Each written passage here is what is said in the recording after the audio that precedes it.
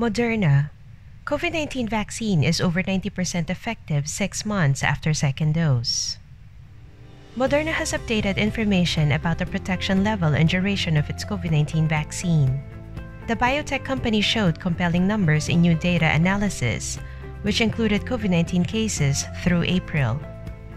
The new data, published in the New England Journal of Medicine, covered more than 900 cases, including over 100 severe COVID 19. According to CNBC, antibodies created by the Moderna vaccine remained active up to six months after the second dose.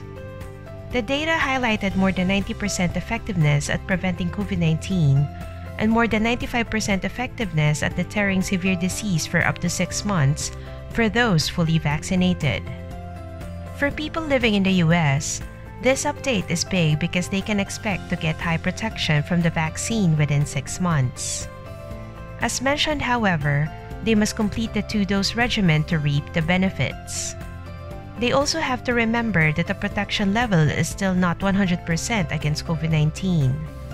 Thus, physical distancing, face masks, and frequent hand washing remain key in boosting existing vaccines.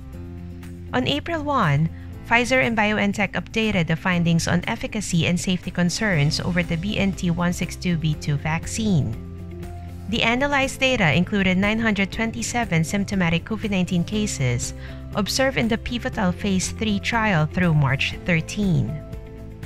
The results showed that the vaccine was 91.3% effective against the disease up to six months after the second dose. That percentage was measured for seven days. The US CDC scored the vaccine with 100% effectiveness against severe COVID 19, while the US FDA gave 95.3%. For safety concerns, Pfizer said that data from more than 12,000 vaccinated participants who were followed for at least six months showed favorable and tolerability profile. Dr. Isaac Bogoch, an infectious disease specialist, said, I think it is fair to estimate that they will both have decent efficacy for many months beyond this. Moderna is now moving forward to test the vaccine in younger people, just like Pfizer.